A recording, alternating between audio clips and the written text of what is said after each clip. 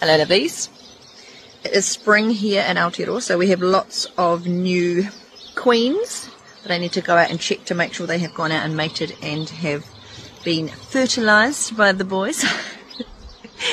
and to figure that out, I need to make sure that they are laying eggs in a good and proper manner. So, to check for eggs, the best thing to do is go to the centre of your brood nest. Hopefully find a frame that's got nice new yellowish wax on it. You're going to have a look around you. You're going to figure out where the sun is. It's behind a cloud, but I swear it's over there. you're going to get the sun behind you so it comes over your shoulder. And then you're going to hold your frame up so you're looking with the sun behind you coming over your shoulder so the sun is going down straight into the little cells. Now remember that these little cells are actually on a little angle, 13 degrees I think, don't quote me on that. So they are not straight on. So when you're doing this, you're still ha- holding your frame on an angle and doing a bit of a wiggle, wiggle, wiggle so that your eyes can find your little tiny eggs down in the base of the cell.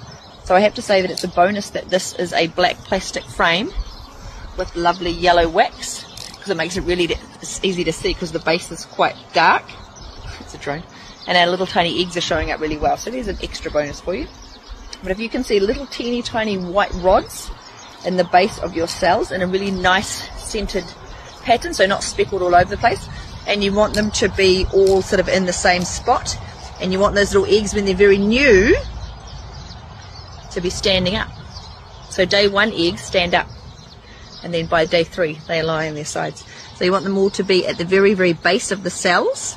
So I say that because if your queen has not done her job properly and has not gone and mated properly, or if you have a worker who is trying to be a queen, those eggs will actually be up on the sides of the cells, not right down at the bottom. So a queen, one of the reasons that she is very nice and long is so that her abdomen can reach all the way down to the base of the cells so she can place the eggs right at the very bottom and then they, they actually stick down. She's got a special kind of glue and they will actually stick to the bottom. I'm also looking for swarm cells at the same time because this hive has got about 10 frames of brood. But anyway, that is your little how to check the eggs for today.